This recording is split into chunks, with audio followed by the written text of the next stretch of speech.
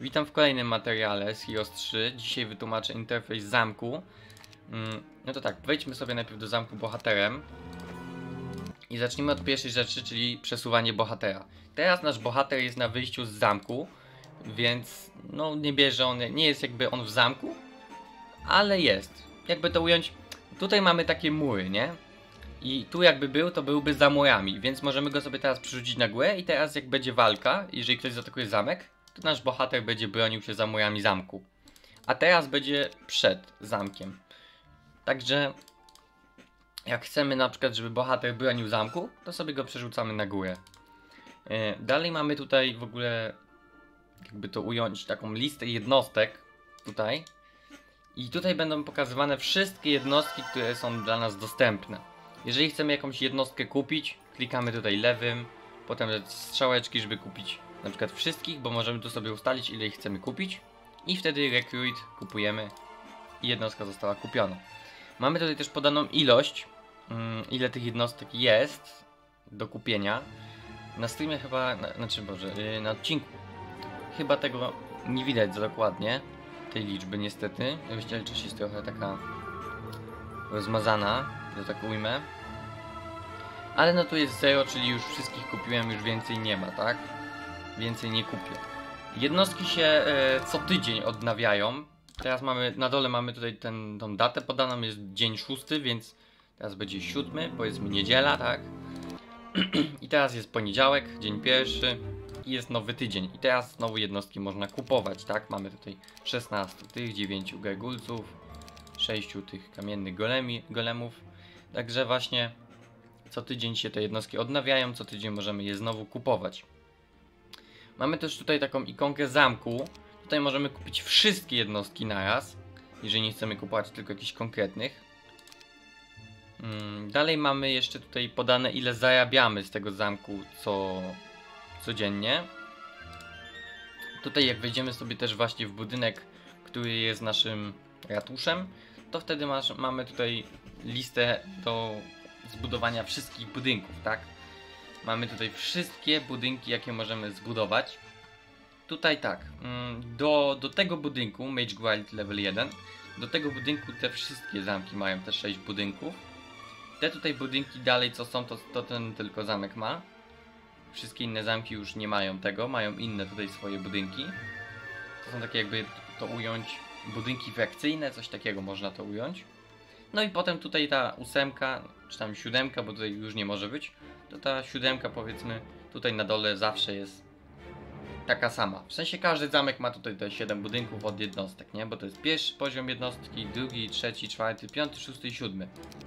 Tutaj jak sobie klikniemy na zamek, to możemy zobaczyć jakie są u nas właśnie jednostki pod każdym poziomem. I to idzie w tej kolejności, że to jest pierwsza poziomowa, jest drugopoziomowa, trzecio, czwarto, piąto, szósto i siódmo. Czyli w tym przypadku Tytan będzie naj, najmocniejszy, a Gremlin będzie najsłabszy, tak? No. Dalej jeszcze co do budynków. Zielone to są te, które możemy zbudować. Czerwone to są te, których nie możemy zbudować. I żółte to są te, które już zbudowaliśmy i nic dalej z tym nie zrobimy. Niektóre budynki mają kilka poziomów, czyli jak zbudujemy już raz, to możemy jeszcze dalej ulepszać, nie? Dopiero jak jest żółty, to oznacza to, że już, już jest maksymalny poziom. Jeszcze może być tutaj stocznia. Stocznia, czyli pozwala budować e, statki. I jeżeli budynek jest szary, to oznacza, że nie możemy go w ogóle zbudować, a jak jest czerwony, to możemy, jeżeli będziemy spełniać wymagania. W tym przypadku na przykład tutaj brakuje nam tego budynku, który jest tu napisany, requires i potrzebujemy Mage Guild level 1 zbudowany, żeby zbudować bibliotekę, tak? No to budujemy sobie Mage Guild, puszczamy turę. I teraz możemy zbudować bibliotekę, bo wymagania zostały spełnione. Wymagania to mogą być właśnie albo budynki, albo surowce, tak? Tutaj mamy całą listę surowców, które są potrzebne. Na przykład na to, na to potrzebujemy targowiska. A tutaj na przykład nie byłoby nas w ogóle chyba stać, jeżeli dobrze widzę. Chociaż nie, mamy tyle klejnotów. To byłoby nas stać na ten budynek. Tylko, że potrzebujemy mieć jeszcze ten i ten. Żeby zbudować najlepszą jednostkę, jaką są tytany. Także tyle z budynków. Tutaj mamy zawsze ratusz, który nam zwiększa przychód złota, że będziemy więcej zarabiali z tego miasta codziennie. Dalej mamy cytadelę, ona zwiększa ile, ile jednostek co tydzień przychodzi do zamku oraz y, mury będą miały strzelców, jeżeli to rozbudujemy. Także dosyć mocne są w obronie zamku i przydatne. Dalej mamy tawernę i w tawernie możemy sobie kupować nowych bohaterów, tak? Możemy sobie tutaj sprawdzać jakie mają statystyki, umiejętności, jednostki. Tutaj możemy też zaprosić jakiegoś bohatera, tą opcję mam ja włączoną. Kiedy wybierzemy jakiegoś bohatera, na przykład ja wybieram sobie tego, to po kupieniu tego bohatera, ten, którego wybrałem się tutaj pojawia w karczmie. To jest dosyć wygodne rozwiązanie, jeżeli szukamy sobie jakiegoś konkretnego bohatera do kupienia, którego lubimy. No i co? No i tutaj, jak widzicie, został kupiony z jakąś armią. A jeszcze taka ciekawostka, że jeżeli na przykład kupimy już jakiegoś tego bohatera z lewej lub z prawej, to wtedy kolejny, który się za nim pojawi, już nie będzie miał wojsk. Jak widzicie, on ma tylko jednego pikiniera. Nic więcej. Ym, I i, i, i, i co tydzień się to odnawia. Czyli w kolejnym tygodniu już będzie tutaj bohater, który będzie już miał jednostki. E, Kolejna rzecz jest taka, że bohater nie może nie mieć żadnych jednostek. Musi mieć co najmniej jedną jednostkę jakąkolwiek. E, Co tu jeszcze mogę powiedzieć? Blacksmith. Blacksmith to jest miejsce, w którym jest jakiś, jakiś, e, jakaś machina wojenna. W tym przypadku jest to wóz z amunicją, czyli według mnie najlepsza machina wojenna, bo powoduje, że nasze jednostki strzelające mają nieskończoność strzałów, bo macie tutaj taką statystykę shots. Czyli on może oddać 8 strzałów, a jak mamy to kupione, to wtedy ma ich nieskończoność. Gdyby się strzały skończyły, to musiałby walczyć wręcz. Także lepiej mieć ten wóz z amunicją. Yy, Ale czasami w Kowalu są jeszcze inne rzeczy. Na przykład w Kowalu może być namiot medyka. I namiot medyka nam leczy jednostki. I może być jeszcze balista. Balista nam no, strzela w wrogie jednostki. Albo może być jeszcze armata i ona jest u piratów. I ona jest jeszcze mocniejszą wersją balisty.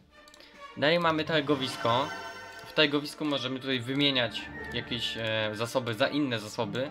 Tylko, że warto tego nie robić, ponieważ często tutaj nas okradają bardzo. Ceny są po prostu no bardzo nieopłacalne. No zobaczcie, jeden klejnot będzie kosztował 50 zł, tak? A jakbym ja chciał kupić klejnot, to muszę zapłacić za jeden 5000 zł. No także jesteśmy okradzeni na bardzo duże ilości zasobów.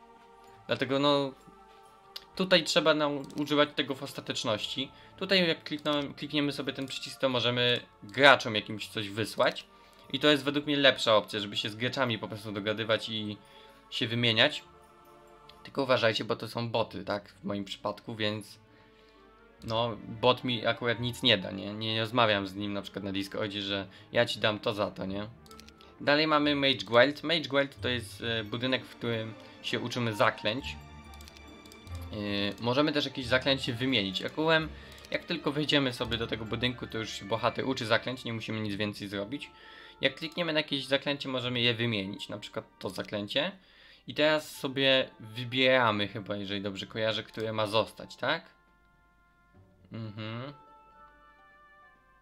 Aha, możemy albo anulować, żeby żadnego zaklęcia nie, nie dało, czyli żeby było z powrotem tamto, albo możemy zakończyć, że ma któreś z tych dać. No to weźmiemy sobie na przykład Bless, nie? Bless jest według mnie o wiele lepszy.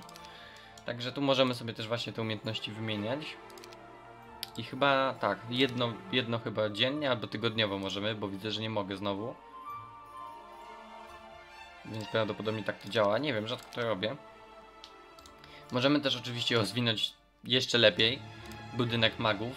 To jest na drugi poziom, a jeszcze jest trzeci, piąty, czwarty i tak dalej, nie? Także no i mamy coraz lepsze zaklęcia wtedy tutaj podblokowywane na wyższych poziomach.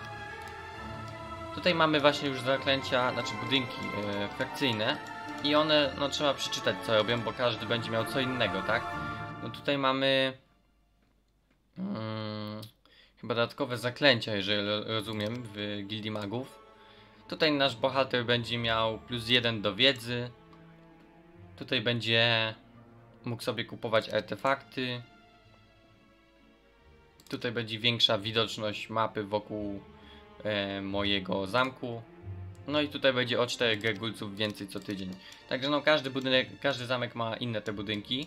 I jak widzicie tutaj w ogóle, w ogóle mapa jest też e, zasłonięta. Trzeba sobie ją odsłaniać, żeby cokolwiek widzieć. Jest budynek właśnie jeden frakcyjny, nieumarłych, który zasłania wrogą mapę. Także wtedy no, jest trochę przesrane. Musimy cały czas tą mapę eksplorować. No i mamy tutaj właśnie jeszcze budynki od jednostek. Jak sobie zbudujemy, to możemy kupić jednostki. A jak sobie zbudujemy jeszcze ulepszenie, upgrade, to wtedy będziemy mogli je ulepszyć. Tak jak widzicie z tymi gremlinami zrobiłem. Na przykład usunę teraz tego bohatera. Weźmiemy jakiegoś z tytanów. Mm, mm, mm, to są elfy. I tu mamy już tytanów. Teraz usuwamy tego. Pyk. I widzicie. I ona ma nieulepszonego gremlina, tak? Jak mamy już budynek do ulepszania, to wtedy w zamku możemy kliknąć na jednostkę i ulepszyć ją. I teraz mamy ją ulepszoną. Także to tyle z panelu zamku chyba, więc już tutaj nie ma co mówić. Można jeszcze w sumie powiedzieć o tym, że tutaj jak zaznaczymy jakąś jednostkę, to możemy kliknąć ten przycisk i rozdzielić sobie jakąś jednostkę na inne ilości, tak? Albo z shiftem możemy też tak porozdzielać, jak teraz widzieliście, że coraz większa kubka jednostek. Albo z kontrolem możemy ich wtedy się po jednej rozdziela też. I to by było właśnie na tyle z odcinka o zamku i widzimy się na kolejnym odcinku, w którym wytłumaczę jak wygląda walka.